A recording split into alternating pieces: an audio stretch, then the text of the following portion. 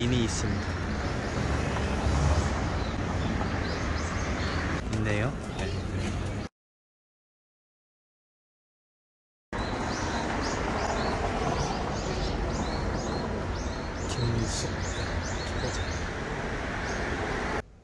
저도 행복하고 예. 제 작품을 보면서 행복하게 느끼시는 그 많은 분들을 위해서 예. 아, 아주 맑고 선명하네요.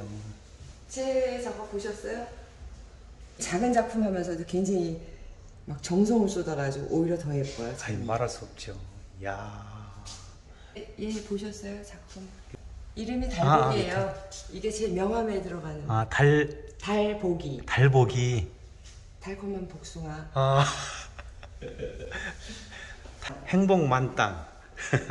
재밌어요. 선생님 재밌네. 아, 이건 풍요예요. 예.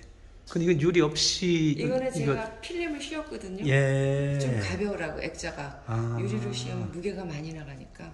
그런데 저는 작품하고 성공한 겁니다. 예. 선생님 작품하고 특히 복숭아하고 참 잘 어울리네요. 그러면 저쪽에 한번 꽃, 꽃 쪽으로 가볼까요? 예. 음. 요건 수국이죠. 저기 시애틀인가 거기에 가서 꽃시장에 갔어요. 예. 근데 자기네들이 직접 그러니까 소 예. 소상공인들이 예. 키운 자기 밭에서 키운 거를 직접 갖다가 파시는 거예요. 아, 그렇죠. 예.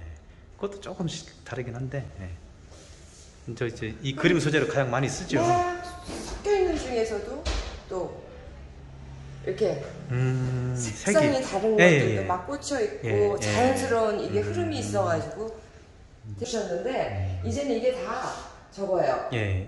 비닐 예. 아스테이질에는 포장지거든요. 예. 그 사이사이로 막 이렇게 뭉덩이로 제- 돼 있는 음. 그런 꽃들을 한번 표현해 봤어요.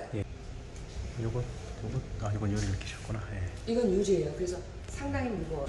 예. 얘가 어떤 복숭아를 드실래요?